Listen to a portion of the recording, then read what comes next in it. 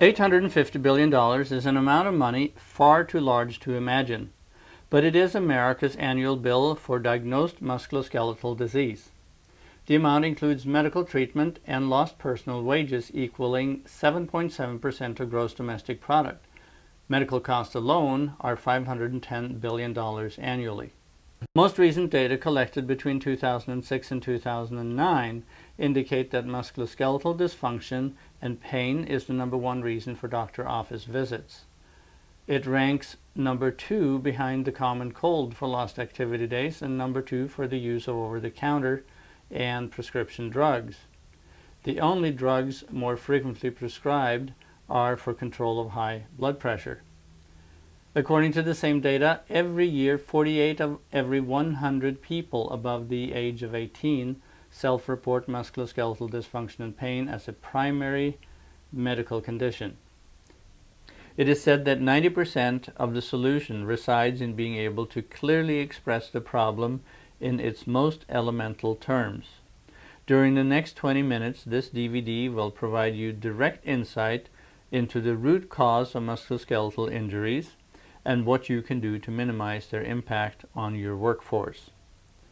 Musculoskeletal dysfunction does not discriminate by age. Injury rates are slightly higher for the youngest in the workforce, and men suffer more injuries than women, mostly because of the nature of work.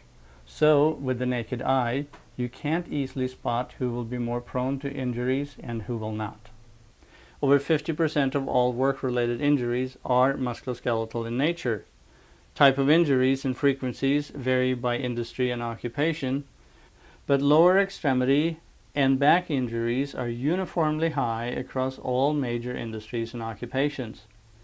Musculoskeletal injuries are typically blamed on working conditions, especially handling heavy loads, but statistics illustrate a high rate, particularly of back problems, even for workers who generally perform very little or no lifting. Musculoskeletal dysfunction is so widespread that it impacts you regardless of your hiring and safety practices.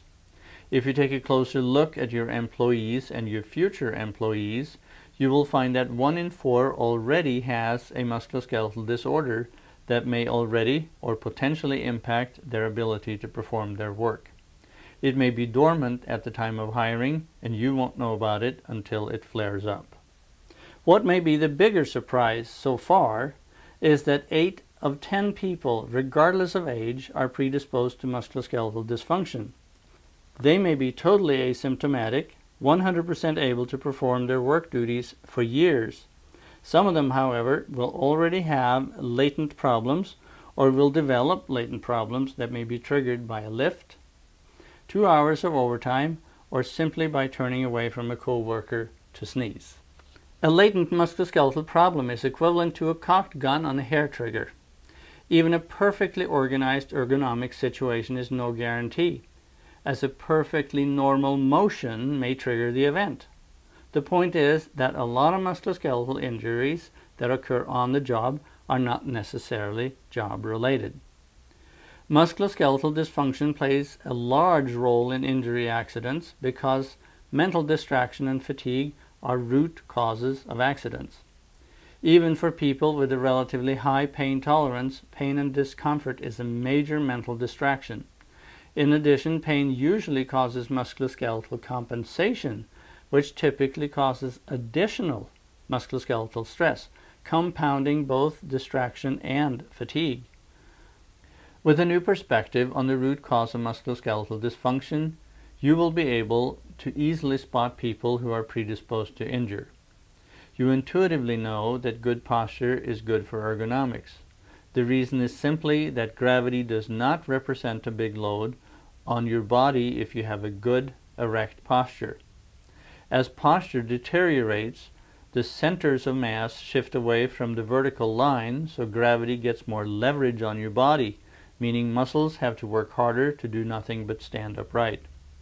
Under the burden of anxiety, worry, and fears in daily life, our posture suffers.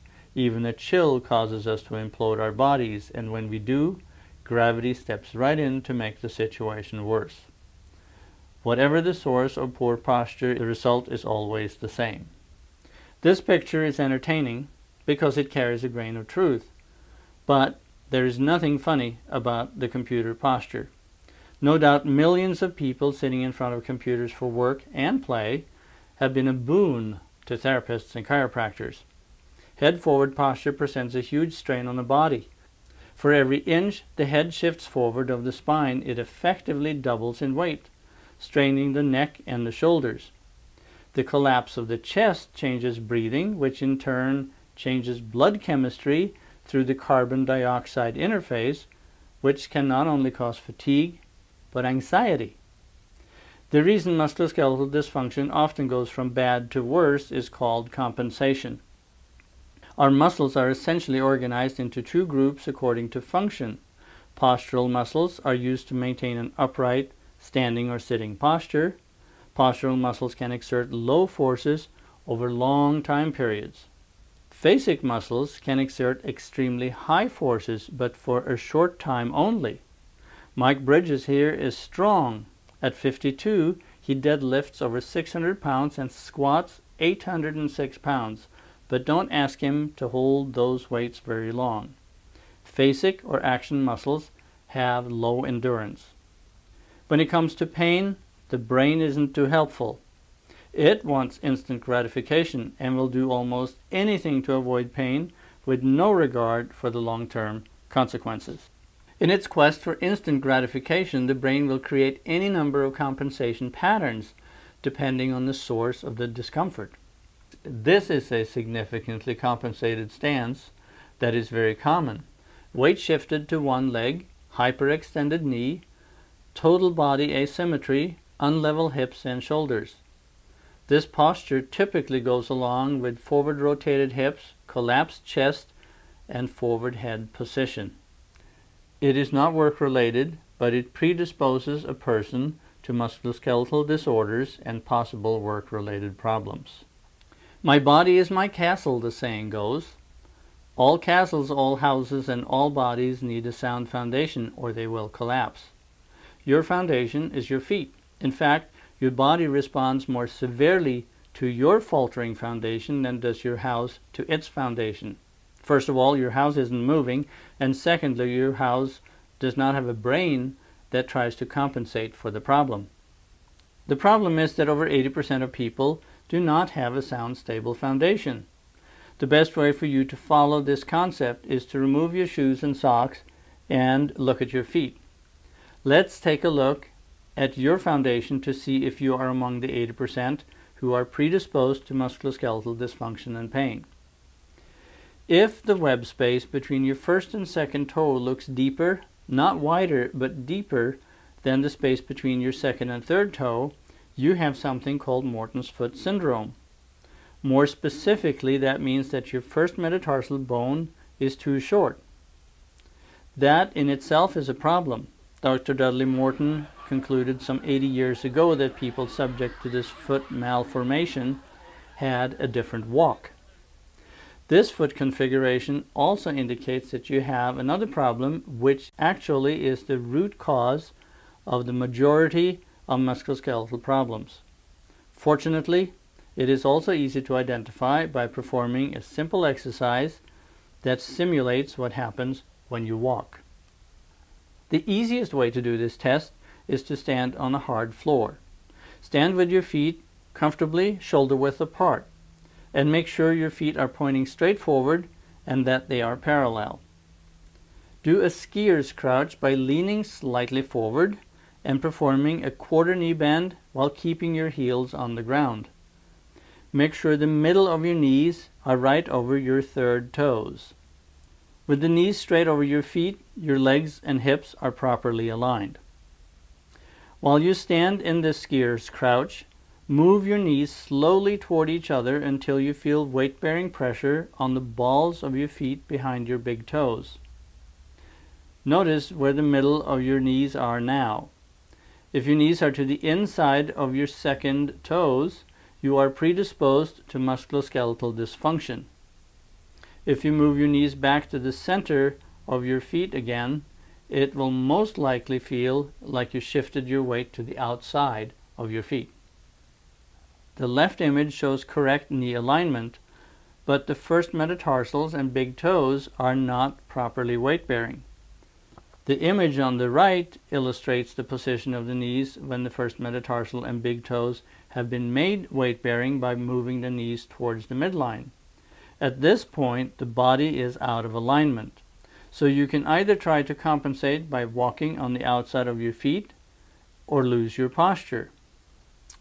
If we were to use one of those fancy scanners the podiatrists use that color encodes the pressures underneath your feet, you'd see that the first metatarsals and big toes are not supporting your body.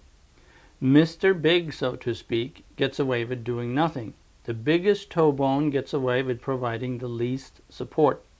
Not only does that cause the smaller bones to overload, but because this area of the foot provides the brain with the balance signal it needs, the entire body becomes unstable. The major cause of the elevated first metatarsal was first published in 1904 but this important finding received scant attention by medical professionals. Dr. Sewell, based on a sample of over a thousand specimens, discovered a rotation at the head of the talus that can vary from one person to the next by as much as 20 degrees. This rotation causes the entire inside of the foot to lose ground contact unless the arch is allowed to collapse. This is the root cause of the foot imbalance we have already demonstrated. Only one question remains to be answered. Is it possible, in spite of this deformity, to bring the first metatarsal and big toe down to the ground, to make the inside of the foot weight bearing, to balance the foot?